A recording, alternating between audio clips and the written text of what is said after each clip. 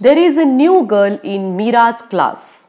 Everyone calls her names because she looks different. But does everyone have to be the same? No, not at all. So let's hear the story The New Girl.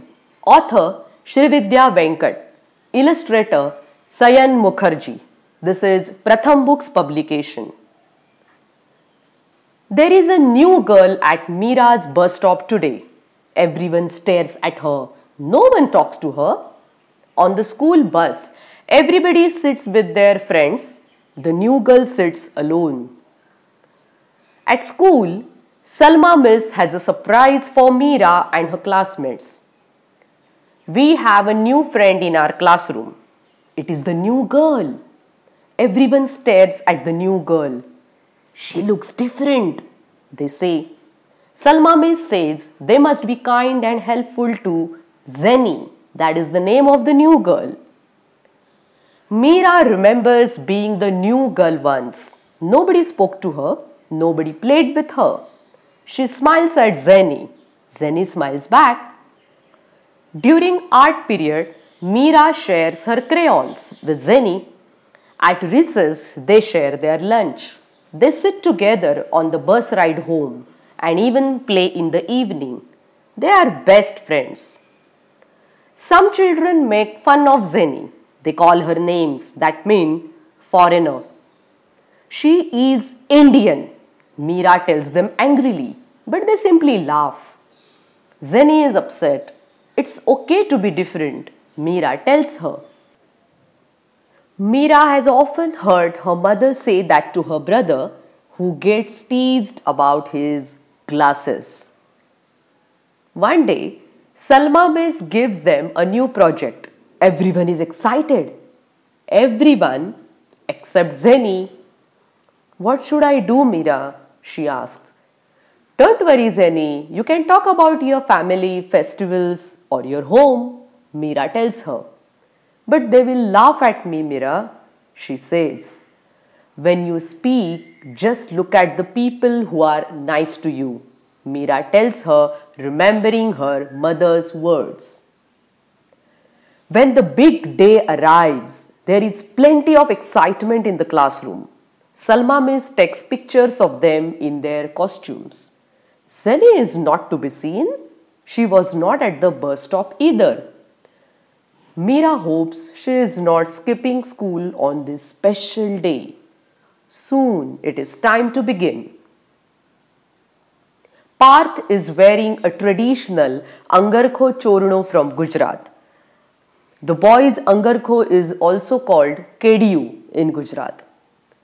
His twin sister Pooja is wearing a Chaniya Choli.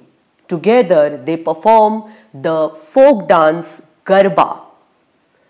Veena sings a beautiful freedom song in Tamil, her mother tongue.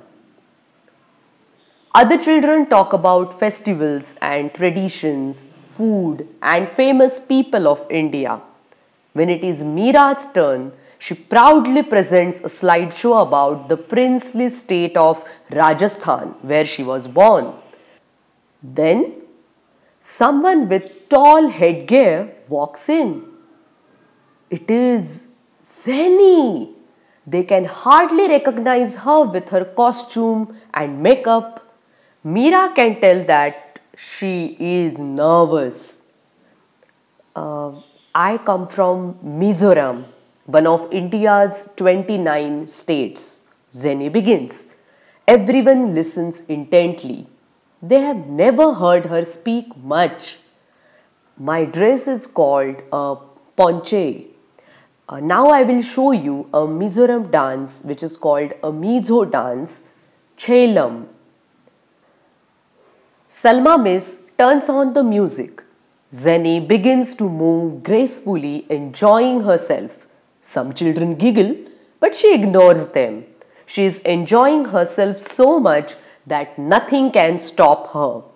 Soon, Salma Miss joins Zenny. A few children dance along too. Others, like Mira, clap to the rhythm of the music. Everyone is having fun. When the music stops, so does Zenny. There is a sudden silence in the classroom. Salma Miss applauds. The entire class joins in. On the bus ride home, Zenny is very happy.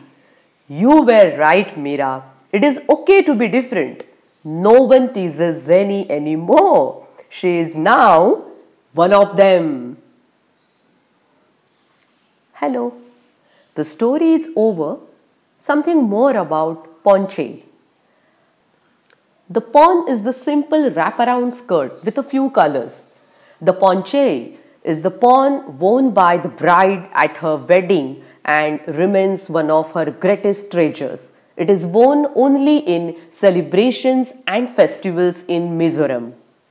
And bit more about Chelam, which is the folk dance in Mizoram, which is performed in Mizoram, which is the northeastern state of India. This is a very popular folk dance of Mizoram. Literally, the terms Chelam means the exclamation of joy and dance. Hence, this folk dance is the celebration of the spirit of joy and excitement. Wow, that was fun, right? Do you want to hear more stories like this? Yes, then log on to www.booksthatspeak.com. Eruawi, Eruawi.